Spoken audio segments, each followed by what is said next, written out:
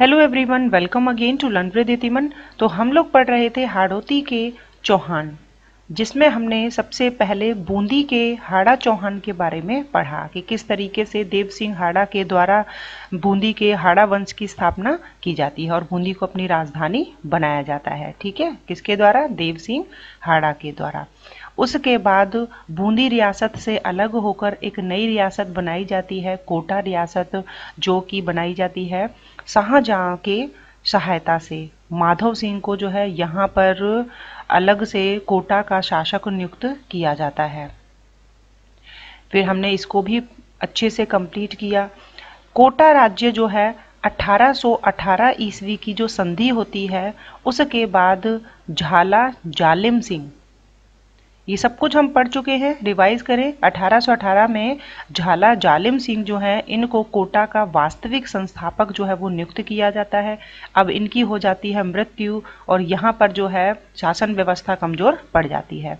तो इनकी मृत्यु के बाद इनका जो पुत्र होता है माधव सिंह, इसको कोटा राज्य का प्रशासक नियुक्त किया जाता है।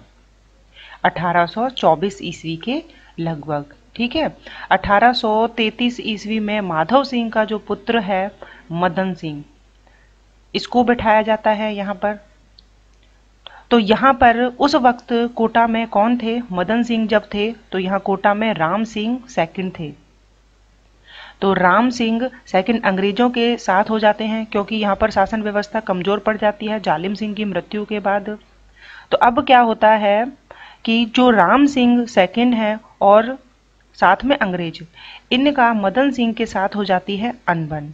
और इस वजह से मतभेद होने के कारण जो राम सिंह हैं और जो अंग्रेज़ हैं, वो कोटा राज्य को, कोटा राज्य का जो सत्रह परगने हैं, या कहें हम कि कोटा राज्य का एक तिहाई भाग, अठारह सौ सैंतीस ईस्वी में मदन सिंह को दे देते हैं। ठीक है? और यहाँ पर नए राज्य की स्थापना होती है और जिसका नाम रखा जाता है झालावाड़। ठीक है, याद रखना है, कंपनी सरकार जो है कोटा से सत्रह परगने जो है, अलग करके झाला मदन सिंह को दे देती है और अठारह सौ में जो है एक नई रियासत बनती है झालावाड़। और इसकी राजधानी बनाई जाती है झालरा पाटन तो मैंने आपको अच्छे से समझा दिया है किस तरीके से जो है बूंदी के चौहान वंश की नींव रखी गई, उसके बाद कोटा के हाड़ा वंश और उसके बाद जो नई रियासत बनाई जाती है झालावाड़। प्राचीन समय में मालवा का हिस्सा ही था झालावाड़, ठीक है? मालवा का ही हिस्सा था। सातवीं सदी में चीनी यात्री वेन सांग ने मालवा व उज्जैन दोनों को अलग अलग बताया। ये क्या बोलते हैं? ये कहते हैं कि मालवा और उज्जैन। मध्य प्रदेश के साइड में पड़ता है जो तो ये दोनों अलग अलग हैं। कारकोट नगर टोंक से सिक्के मिले थे, जिन पर मालवा जय और मालवा गणस्य लिखा हुआ था। तो ये चीज़ जो है थोड़ी सी आपको याद रखनी है कि कहाँ से पता लगता है कि झालावाड़ अलग था और कोटा रियासत अलग थी। तो सातवीं सदी में चीनी यात्री वेन सांग जो हैं, ये मालवा और उज्जैन दोनों को अलग अलग बताते हैं। ठीक है? तो हमने देखा कि मालवा जो कि झालावाड़ का ही हिस्सा था। ग्यारहवीं और बारहवीं शताब्दी के आसपास यहाँ पर किसका शासन था? परमारों का शासन था और परमार शासक नर वर्मदेव और यशो वर्मदेव एवं उनके आठ मंत्रियों का उल्लेख इसमें मिलता है। तो ये थोड़ा सा इतिहास है, यदि आप याद ना भी रख पाए तो कोई बात नहीं। वाल्मीकि रचित रामायण और वेद व्यास रचित महाभारत में भी यहाँ पर मालवा जाति का उल्लेख मिलता है कि यहाँ पर जो है वो पहले मालवा जाति रहा करती थी। तो 8 अप्रैल अठारह सौ अड़तालीस को झाला मदन सिंह और अंग्रेज़ सरकार के बीच में जो संधि होती है तो यहाँ मैंने आपको समझा दिया है। थोड़ा सा मैप में जो है मैं आपको बता देती हूँ, कहाँ पर मालवा था। देखिए, ये जो आप क्षेत्र देख रहे हैं तो ये उस समय जो है वो मालवा के नाम से जाना जाता था। तो कहते हैं कि ये जो झालावाड़ नई रियासत बनी थी तो ये मालवा का ही हिस्सा था। ठीक है? तो ये आपको याद रखना है, जो कि किससे अलग होकर बनाया गया? कोटा राज्य से अलग होकर जो है झालावाड़ नई रियासत की स्थापना की जाती है। यहाँ हम ये भी कह सकते हैं कि अंग्रेज़ों द्वारा बनाई गई अंतिम रियासत कौन सी थी? झालावाड़ रियासत थी, ठीक है? सन आपको याद रखनी है, अठारह सौ से अठारह सौ अड़तीस है तो कहीं पर आपको अठारह सौ सैंतीस आएगा, कहीं पर अठारह सौ अड़तीस। याद रखेंगे ये वाली डेट, अठारह सौ अड़तीस, ठीक है? अब बूंदी बूंदी रियासत कहाँ है? वो यहाँ पर है। कोटा रियासत, थोड़ा सा इसके यहाँ, इस साइड देखेंगे तो कोटा रियासत का निर्माण किया गया। उसके बाद अंतिम रियासत तो थोड़ा सा दक्षिण में चले गए। तो ये पूरा एरिया जो है, वो अब किस नाम से जाना जाता है? हाड़ोती के नाम से जाना जाता है। तो चौहानों की वन, जो नींव है, यहाँ पर हाड़ोती क्षेत्र में भी स्थापित हुई थी। कोटा रियासत से सत्रह परगने जो है, झालावाड़ को 1838 में स्वतंत्र रियासत गठित कर दिया गया। सत्रह परगने देकर झाला मदन सिंह जो है, इनको झालावाड़ का स्वतंत्र प्रशासक बना दिया गया और नई राजधानी झालावाड़ की राजधानी किसे बनाया गया? झालरा पाटन इसको बनाया गया, ठीक है? जिसको आज हम घंटियों का शहर कहते हैं, क्योंकि यहाँ पर मंदिर आपको बहुत मिलेंगे। सूर्य मंदिर जो है, वो झालरा पाटन में बहुत मिलेंगे। इस वजह से यहाँ पर जो है, आप देखेंगे कि सुबह शाम जो है, जब पूजा होती है तो घंटियों की आवाज़ जो है बहुत बहुत ज़्यादा बसती है। तो इस वजह से इसको घंटियों का शहर भी कहा जाता है। नेक्स्ट देखिए, मदन सिंह के बाद हैं पृथ्वी सिंह। अब पृथ्वी सिंह 1845 ईस्वी में नए राजा बनते हैं। अठारह सौ सत्तावन की क्रांति में झाला पृथ्वी सिंह ने अंग्रेज़ों की पूरी सहायता की थी। तो स्टार्टिंग तो किसने कर दी थी? राम सिंह सेकंड ने। ठीक है, जब हम अठारह सौ सत्तावन की क्रांति पढ़ते हैं राजस्थान के संदर्भ में तो राम सिंह सेकंड जो है, इनका योगदान रहा था अंग्रेज़ों की सहायता देने में, क्योंकि शासक जो थे, उस वक्त थोड़े से वीक पड़ गए थे और उनको जो है अंग्रेज़ों से संधि करनी पड़ी थी। ठीक है? तो ये अंग्रेज़ों की सहायता करते हैं अठारह सौ सत्तावन की क्रांति में। उसके बाद पृथ्वी सिंह, ये भी अंग्रेज़ों की पूरी सहायता करते हैं। अठारह सौ छियासठ में झाला, पृथ्वी सिंह द्वारा झालावाड़ में रेल लाइनें बिछाने का कार्य जो है वो शुरू किया गया। इनकी मृत्यु 29 अगस्त 1875 को हो गई थी। पृथ्वी सिंह के बारे में देखिए, ज़्यादा एग्जामिनर पूछता भी नहीं है। ठीक है। अठारह सौ बासठ में झालावाड़ को उत्तराधिकार, उत्तराधिकारी गोद लेने का अधिकार दिया गया। तो अठारह सौ तिहत्तर में काठीवाल के बड़वान से भक्त सिंह को गोद लिया गया। अब इनके जो कोई पुत्र नहीं था तो यहाँ पर इन्होंने गोद लिया। ग्वालियर के स्वतंत्रता सेनानी तात्या टोपे और अंग्रेज़ों के विरुद्ध सहायता की आशा से राजस्थान आकर झालावाड़ के सैनिकों को अपनी ओर से मिलाकर पृथ्वी सिंह को यहाँ से भगा दिया। झालावाड़ पर क्रांतिकारियों का अधिकार हो गया और बाद में अंग्रेज़ों ने आकर क्रांतिकारियों को खदेड़ा था। तो अठारह सौ सत्तावन क्रांति में हम ये बहुत अच्छे से समझ चुके हैं। जालिम सिंह सेकंड, ठीक है? तो जालिम सिंह प्रथम जो थे, उनकी तो मृत्यु हो गई थी। कौन जालिम सिंह प्रथम? जो कि 1818 की जो संधि हुई थी तो उसके बाद कोटा के वास्तविक प्रशासक बने थे, जालिम सिंह प्रथम, ठीक है? ये है जालिम सिंह सेकंड 21 जून अठारह सौ छिहत्तर को राज्य के संपूर्ण अधिकार इनको मिल गए। उसके बाद देखिए, भवानी सिंह 6 फरवरी 1899 को राजा बने। अक्टूबर 1900 में झालावाड़ में अंग्रेज़ी पोस्टल जो है लागू की गई। झालावाड़ में नगर पालिका की स्थापना की गई। इनके समय भयंकर अकाल पड़ा इनकी मृत्यु अठारह सौ उनतीस ईस्वी में हो गई थी। 1904 में नागदा मथुरा रेल निर्माण का कार्य बिना शुल्क भूमि हेतु जो है, इस पर सहमति भी दी गई। ठीक है? तो ये थोड़ा सा नाम याद रखना है आपको। इतना ज़्यादा इम्पोर्टेंट नहीं है। उसके बाद देखिए, राजेंद्र सिंह आते हैं। छोटी काली सिंह नदी पर गंगाधार के पास जो है पुल निर्माण करवाया जाता है इनके समय में। पुलिस और सेना की व्यवस्था में परिवर्तन करके हाई कोर्ट की स्थापना की गई। झालावाड़ और झालरा पाटन में बिजली की व्यवस्था की गई। इनकी मृत्यु 1943 में हो गई थी। राजेंद्र सिंह के बाद जो हैं, वो हरिश्चंद्र हैं और ये झालावाड़ के लोकप्रिय शासक बने थे। राजस्थान के एकीकरण के दूसरे चरण में बांसवाड़ा डूंगरपुर, किशनगढ़, कोटा, प्रतापगढ़, टोंक, शाहपुरा व कुंबलगढ़ और चीफ शीप के साथ झालावाड़ को मिलाकर राजस्थान संघ का गठन किया गया। एकीकरण के बाद झालावाड़ को जो है वो नया जिला बना दिया गया था। ठीक है? तो जनपद झालावाड़ मारवाड़ के पठार में बसा क्या था? एक जनपद था। जनपद के अंदर जो है वो झालावाड़ और झालापाटन दो पर्यटन स्थल हैं। ये भी याद रखना है, ठीक है? लोग जो हैं यहाँ पर देखने के लिए आते हैं। इन दो शहरों की स्थापना अठारहवीं शताब्दी के अंत में झालावाड़ राजपूतों द्वारा की गई, इसलिए इसको जो जुड़वा शहर भी कहा जाता है। अब एक लाइन ये वाली इंपॉर्टेंट रही है अभी तक, जो हमने मदन सिंह झाला के बारे में पढ़ा, उसके बाद आपको सिक्वेंस याद रखना है, कौन सा शासक कब आया, ठीक है? इतना याद रखना है। और ये लाइन आपको याद रखनी है कि जुड़वा शहर किसको कहा जाता है? झालावाड़ और झालरा पाटन को, ठीक है? झालावाड़ राजपूतों की सबसे नवीन और अंग्रेज़ों द्वारा निर्मित एकमात्र जो है, रियासत थी, ये याद रखिए। झालावाड़ के किस नरेश ने हरिजनों को मंदिर में प्रवेश दिया था? राजेंद्र सिंह झाला ने प्रवेश दिया था और राजेंद्र सिंह झाला सुधारक उपनाम से कविता लिखते थे। तो कुछ ये इंपॉर्टेंट है, हो सकता है एग्जामिनर की नज़र जो इस पर पड़ जाए। तो इस तरीके से झालावाड़ के चौहान शासकों के बारे में हमने पढ़ लिया है। झालावाड़ के इतिहास के बारे में हम अच्छे से पढ़ चुके हैं। याद रखिएगा, यहाँ पर मदन सिंह जो हैं, इनसे शुरुआत होती है। मदन सिंह झाला को नया प्रशासक नियुक्त किया जाता है यहाँ पर। उसके बाद कौन आते हैं? पृथ्वी सिंह आते हैं। पृथ्वी सिंह जो हैं, ये अंग्रेज़ों के अठारह सौ सत्तावन की क्रांति में पूरी जो है हेल्प करते हैं, इनका कोई पुत्र नहीं था, ठीक है? तो उत्तराधिकारी गोद लेने का अधिकार जो है, इनको प्रदान किया जाता है। उसके बाद आते हैं जालिम सिंह सेकंड जालिम सिंह सेकंड आते हैं, इनको जो है पूरे अधिकार दिए जाते हैं राज्य के। फिर जो है आते हैं भवानी सिंह। ठीक है? फिर कौन आते हैं? भवानी सिंह आते हैं। तो इनके समय तो बहुत भयंकर जो है वो अकाल पड़ा था। राजेंद्र सिंह है इनके बाद। राजेंद्र सिंह के बाद हरिश्चंद्र। ठीक है तो ये बहुत ही लोकप्रिय प्रशासक जो है, बने थे हरिश्चंद्र। इनके समय में जो है, राजस्थान का जो एकीकरण का दूसरा चरण चल रहा था, ठीक है?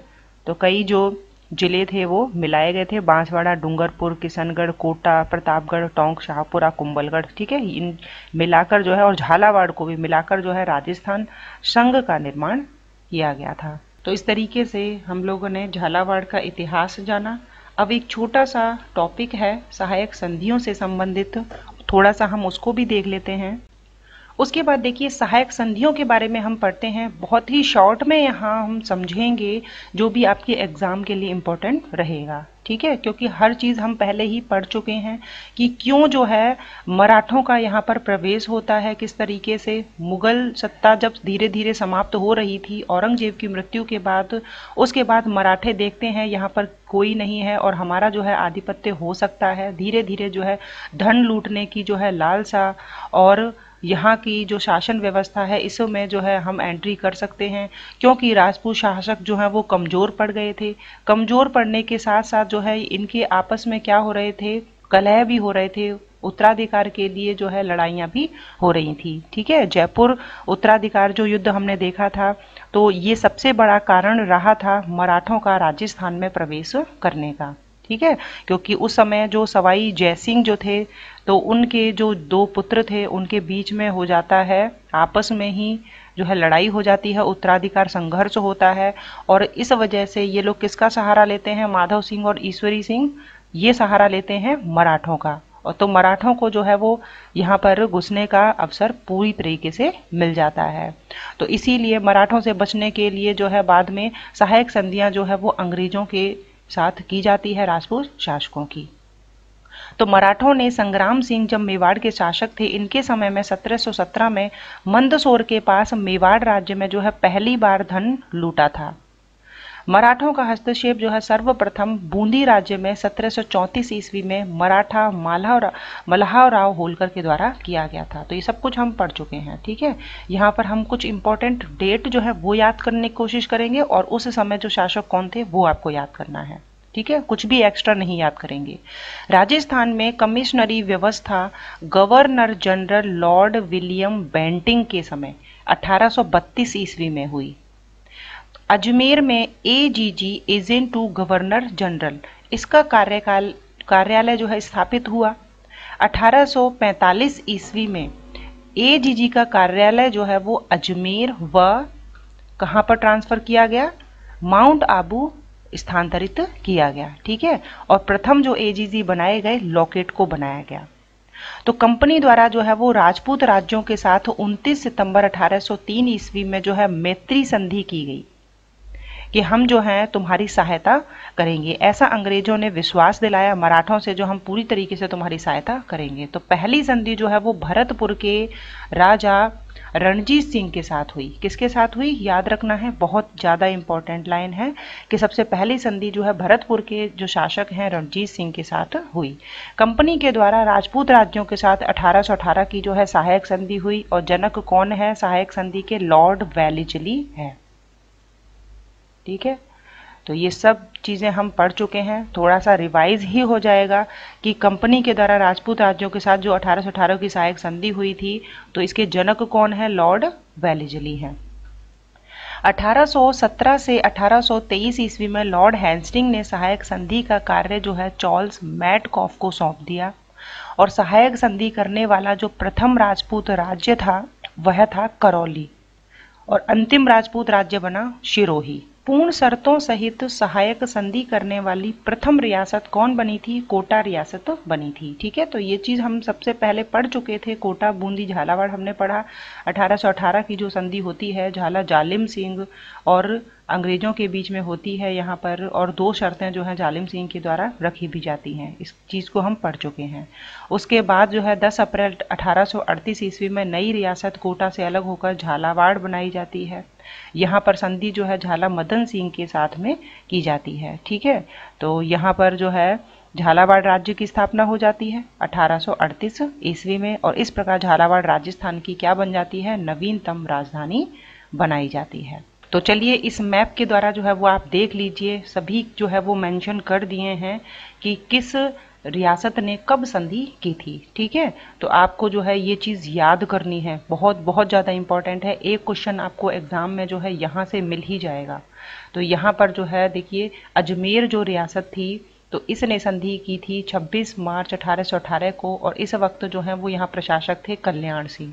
ठीक है? जयपुर जो रियासत थी, इसने 2 अप्रैल 1818 को संधि की थी, जगत सिंह सेकंड के समय। करौली रियासत 9 नवंबर 1817 को की थी, हरबख्श पाल थे इस समय प्रशासक। कोटा में जो संधि करते हैं 26 दिसंबर 1817 को तो इस समय उम्मेद सिंह प्रथम जो है यहाँ पर नए प्रशासक थे। ठीक है? उसके बाद बूंदी रियासत जो है, इसके द्वारा संधि की जाती है। तो यहाँ पर जो प्रशासक हैं इस वक्त विष्णु सिंह हैं 10 अप्रैल 1818 को। 17 नवंबर 1817 को अमीर खां पिंडारी के द्वारा जो है टोंक, इस रियासत में जो है संधि की जाती है। तो हम जो पढ़ रहे हैं, ये 1817-18 की जो संधि है, ये हम पढ़ रहे हैं। ठीक है? यही आपको याद रखनी है। तो 22 जनवरी 1818 को अजीत सिंह और महाराजा भीम सिंह की ओर से, ठीक है? उदयपुर रियासत की संधि होती है। सिरोही के साथ संधि जो है, महाराजा शिव सिंह के द्वारा की जाती है 11 सितंबर 1823 को। उसके बाद देखिए, जोधपुर रियासत जो है यहाँ पर संधि महाराजा मान सिंह की तरफ़ से कौन करते हैं? छत्तर सिंह करते हैं। 6 जनवरी 1818 को जैसलमेर जो रियासत है, मूल राज सेकंड के समय होता है 22 दिसंबर 1818 बीकानेर जो रियासत है, यहाँ पर 9 मार्च 1818 को सूरत सिंह के द्वारा यहाँ पर संधि की जाती है। ठीक है? और अंतिम मैंने आपको बता दिया है कि झालावाड़ रियासत के साथ संधि होती है। तो इस तरीके से आपको जो है ये याद रखने हैं। वेरी वेरी इंपॉर्टेंट हैं ये सभी लाइनें। यहाँ से एक प्रश्न जो है वो आपको मिल ही जाएगा। ठीक है? अब ये लोग तो सोचते हैं कि अंग्रेज़ जो हैं, इनका संरक्षण करेंगे, इनको जो है बचाएँगे। लेकिन क्या होता है कि रेजिडेंट द्वारा प्रशासन में जैसे ही हस्तक्षेप हो जाता है, जिसकी वजह से राजपूत जो शासक हैं, उनकी शक्ति, आंतरिक जो शक्ति थी, वो कमज़ोर हो जाती है। वो अपनी आंतरिक प्रभु सत्ता जो है, वो खो बैठते हैं। और क्या हो जाते हैं? राजपूत सभी कठपुतली मात्र बन जाते हैं। ठीक है? कठपुतली मात्र बन जाते हैं। यहाँ पर जो भी अधिकार था वो अंग्रेज़ी सरकार को मिल जाता है और उत्तराधिकार का जो भी निर्णय होता था वो कौन करने लगी थी? कंपनी सरकार करने लगी थी। अंग्रेज़ों को दिया जाने वाला जो खिराज था उसके कारण देसी राज्यों की जो आर्थिक स्थिति बहुत ज़्यादा जो है वो वीक पड़ती चली गई। है ना? अब यहाँ पर जो है आ, क्या आने लग गया अंग्रेज़ों के द्वारा? जो पाश्चात्य शिक्षा थी उसका प्रभाव जो है वो अधिक होने लगा। आचार विचार जो है उनका प्रभाव पड़ने लगा कि अंग्रेज़ों के आचार विचार और जो राजपूत शासक थे, उनके डिफरेंट थे। और जितनी भी विदेशी वस्तुएँ थीं तो वो यहाँ पर आने लगी। तो स्वदेशी वस्तुएँ जो थीं, इनका अपमान होने लगा, ठीक है? हस्तशिल्प जो थी, वो नष्ट होने लगी। देसी राज्यों की जो आस्था थी तो ये भी जो है, थोड़ी धीरे धीरे समाप्त होने लगी। तो जो आम जन थे जन साधारण जो थे तो वो लोग इससे जो है वो बहुत ज़्यादा परेशान होने लगे और धीरे धीरे जो है वो ये चीज़ जो है वो आगे जाके किसमें बदल गई? अठारह की क्रांति में बदल गई। ठीक है? तो राजपूत शासक ने तो अच्छे काम के लिए ही जो है संधियाँ की थी ताकि ये लोग जो है हमें संरक्षण प्रदान करेंगे।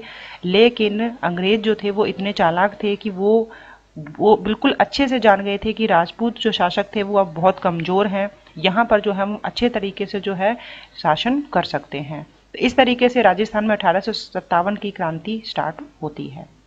तो यहाँ पर टॉपिक भी कंप्लीट होता है और अच्छे से आप लोगों ने समझ भी लिया है। इसको बार बार रिवाइज करिएगा। मिलते हैं नेक्स्ट वीडियो में। Thank you